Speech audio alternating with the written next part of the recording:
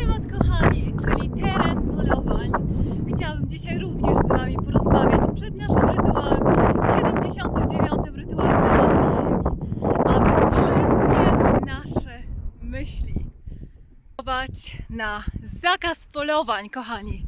Bo to, co wyprawia się w tej chwili na Ziemi, to jest niesamowite, po prostu niesamowite.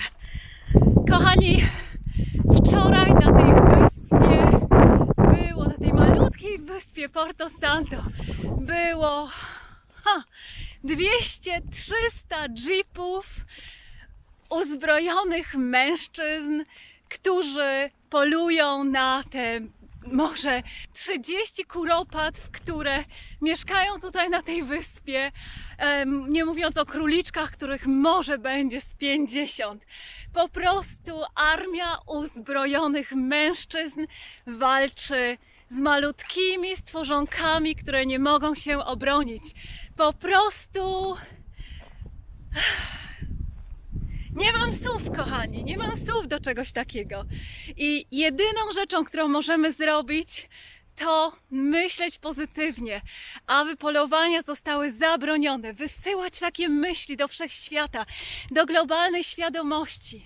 Zakaz polowań, całkowity, tak jak na Kostaryce. To jest możliwe. Jest możliwe również u nas i w Polsce, i w Europie. Wystarczy tylko odpowiednia ilość ludzi i tak się stanie.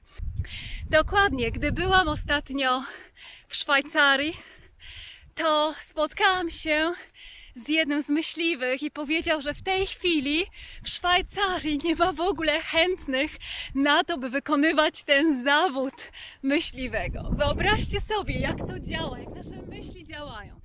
Ale jeszcze w takich krajach jak Portugalia, jak Hiszpania, gdzie jest jeszcze ten mit tego macho, tego mężczyzny, który zamiast bronić słabszych, to słabszych zabija. Tutaj jeszcze nasze myśli są bardzo potrzebne. Czyli inspiracją na jutrzejszy 79. rytuał dla Matki Ziemi, zakaz polowań na całej Ziemi. Natura sama się reguluje inspiracja i motywacja. Tak jak Malwina napisała taki piękny artykuł na jej blogu na temat właśnie takich wędrówek wolnych od polowań. To jest tak samo moje marzenie, jak i myślę, że każdego z nas. Dlatego wzmacniajmy na poprzez nasze myśli.